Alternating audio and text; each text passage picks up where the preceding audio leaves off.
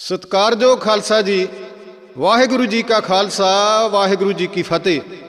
ਅੱਜ ਦੇ ਦੀਵਾਨ ਵਿੱਚ ਮੀਰੀ ਪੀਰੀ ਦੇ ਮਾਲਕ ਸਹਿਬ ਗੁਰੂ ਹਰਗੋਬਿੰਦ ਸਾਹਿਬ ਮਹਾਰਾਜ ਜੀ ਦੇ ਇਤਿਹਾਸ ਵਿੱਚੋਂ ਕੁਝ ਪੰਨੇ ਆਪ ਜੀ ਨਾਲ ਸਾਂਝੇ ਕੀਤੇ ਜਾ ਰਹੇ ਹਨ।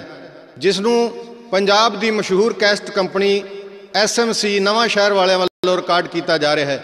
ਪੇਸ਼ ਕਰ ਰਹੇ ਹਨ ਭਾਈ ਮਿਲਖਾ ਸਿੰਘ ਮੌਜੀ, ਸਰਹਾਲੀ ਕਲਾਂ ਵਾਲੇ ਤਹਿਸੀਲ ਤੇ ਜ਼ਿਲ੍ਹਾ ਤਰਨਤਾਰਨ। ਸਰੰਗੀ ਮਾਸਟਰ ਭਾਈ ਸ਼ਰਨਜੀਤ ਸਿੰਘ ਜੀ ਰਣੀਕੇ ਪਿੰਡ ਰਾਮਪੁਰ, ਨੇੜੇ ਸ਼ਿਹਾਟਾ ਸਾਹਿਬ, ਤਹਿਸੀਲ ਤੇ ਜ਼ਿਲ੍ਹਾ ਅੰਮ੍ਰਿਤਸਰ।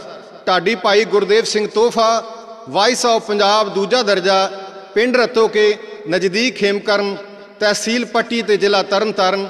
ਢਾਡੀ ਭਾਈ ਗੁਰਚਰਨ ਸਿੰਘ ਚੰਨ, ਬਾਗਵਾਲੀ ਵਸਤੀ ਫਿਰੋਜ਼ਪੁਰ ਸ਼ਹਿਰ। ਇਸ ਕੈਸਟ ਨੂੰ ਰਿਕਾਰਡਿੰਗ ਕਰਨ ਲਈ ਸਹਿਯੋਗ ਦਿੱਤਾ ਹੈ ਸੁਖਦੇਵ ਸਿੰਘ ਜੀ ਚੱਬਾ, ਪ੍ਰਧਾਨ ਗੁਰਦੁਆਰਾ ਸਗਰਾਣਾ ਸਾਹਿਬ ਸਰਦਾਰ ਗੁਰਮੁਖ ਸਿੰਘ ਸਰਪੰਚ, ਚੱਬਾ ਅਤੇ ਸਰਦਾਰ ਭੁਪਿੰਦਰ ਸਿੰਘ ਜੀ ਸਰੀ ਕੈਨੇਡਾ। ਇਸ ਦੀ ਚੜ੍ਹਦੀ ਕਲਾ ਲਈ ਅਰਦਾਸ ਕੀਤੀ ਹੈ, ਸਤਿਕਾਰਯੋਗ ਬਾਬਾ ਅਵਤਾਰ ਸਿੰਘ ਜੀ ਕਰਿਹਾਲੇ ਵਾਲੇ ਅਤੇ ਬਾਬਾ ਗੱਜਣ ਸਿੰਘ ਜੀ ਮੁੱਖ ਸੇਵਾਦਾਰ, ਸਮਾਧਾ ਬਾਬਾ ਨੌਦ ਸਿੰਘ ਅੰਮ੍ਰਿਤਸਰ। ਮੀਰੀ ਪੀਰੀ ਦੇ ਮਾਲਕ ਸਹਿਬ ਗੁਰੂ ਹਰਗੋਬਿੰਦ ਸਾਹਿਬ ਮਹਾਰਾਜ ਜੀ ਅੰਮ੍ਰਿਤਸਰ ਦੀ ਪਾਵਨ ਧਰਤੀ ਤੋਂ ਸ਼ਿਕਾਰ ਖੇਡਣ ਲਈ ਨਿਕਲੇ। ਚਲਦੇ ਚਲਦੇ ਮਹਾਰਾਜ ਜੀ ਉੱਥੇ ਆ ਗਏ, ਜਿੱਥੇ ਗੁਰੂ ਹਰਗੋਬਿੰਦ ਸਾਹਿਬ ਮਹਾਰਾਜ ਜੀ ਨੇ ਮੁਖਲਸ ਖਾਨ ਨਾਲ ਪਹਿਲੀ ਜੰਗ ਦਾ ਖਾਤਮਾ ਕੀਤਾ ਸੀ। ਹਜੂਰ ਆਪ ਉੱਥੇ ਠਹਿਰੇ। ਭਾਈ ਗੁਰਦਾਸ ਜੀ ਤੇ ਕੁਝ ਹੋਰ ਸਿੱਖਾਂ ਨੂੰ ਮਹਾਰਾਜ ਨੇ ਜੰਗਲੀ ਜਾਨਵਰਾਂ ਦੀਆਂ ਪੈੜਾਂ ਦੇਖਣ ਲਈ ਤੋਰਿਆ। ਭਾਈ ਸਾਹਿਬ, ਭਾਈ ਗੁਰਦਾਸ ਜੀ ਤੁਰੇ ਜਾ ਰਹੇ ਸਨ।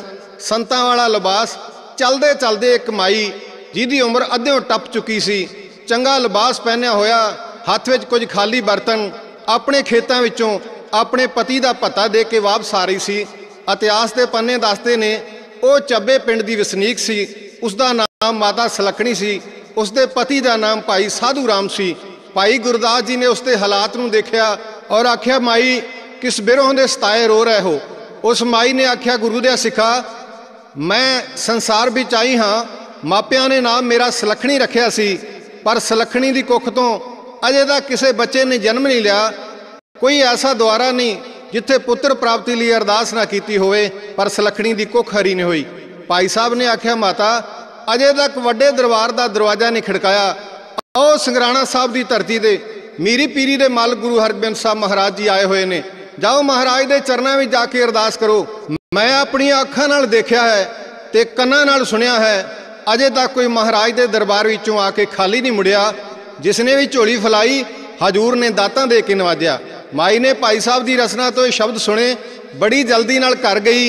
ਇੱਕ ਗੁੜ ਦੀ ਰੋੜੀ ਸਵਾ ਰੁਪਈਆ ਤੇ ਖੱਦਰ ਦਾ ਰੇਜਾ ਲੈ ਕੇ ਜਿੱਥੇ ਭਾਈ ਸਾਹਿਬ ਨੇ ਮਹਾਰਾਜ ਦੀ ਦੱਸ ਪਾਈ ਸੀ, ਉੱਥੇ ਜਾ ਪਹੁੰਚੀ।